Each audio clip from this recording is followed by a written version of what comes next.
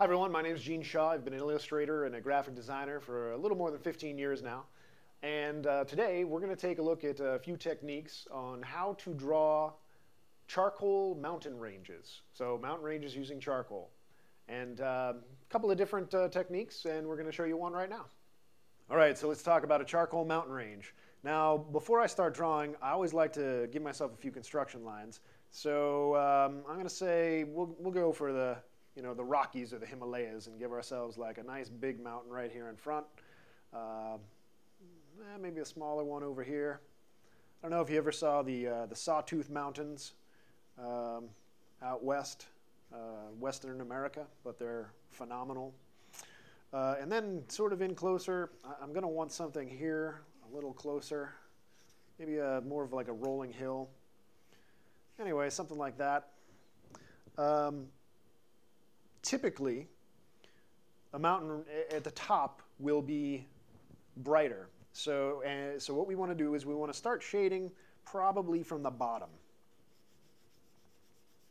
Now I'm just going to lay down a, a quick base of color here. And then I'm going to take it in. I'm just going to get right in there with my finger and just take it, take it up to the, uh, the top there. And don't be afraid to, to lay out some, some solid solid shapes because uh, remember this is rock and and rock tends to have angles. It's there's not much curve to it. Uh, so just keep that in mind as you're sort of feeling your way into these mountains. And you know, have fun with it. Just play around with the with the shape, play around with the charcoal, the color a little bit.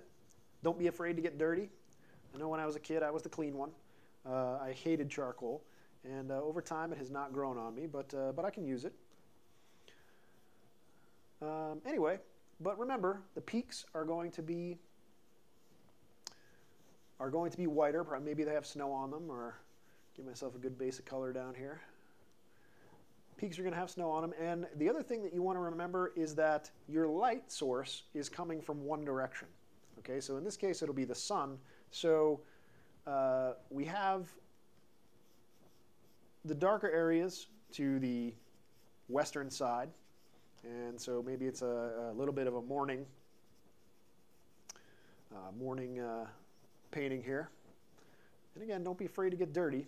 Let's, let's keep the, uh, the tops of these mountains as white as we can for a little while because we want, the, uh, we want to give it the illusion of snow. And then I'm just going to come in here and, and very lightly give myself some rolling hills and just real, use the side of the charcoal, just get in there and real lightly kind of shade that in a little bit. And again, just get, I'd get right in there with your finger, what the heck.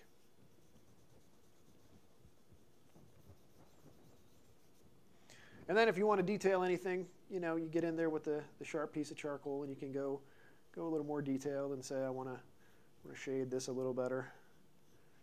And just kind of, just kind of finish it up. And you can get in there that way. But anyway, that's uh, those are your basic uh, mountain shading techniques in, uh, in charcoal. Maybe come up here and do some clouds. If you got some leftover charcoal on your fingers, you can just kind of get in there and shade in the uh, shade in the sky. But uh, but there you have it. Just a simple technique to uh, help your charcoal mountain ranges look a little better. And if you have any questions, feel free to ask.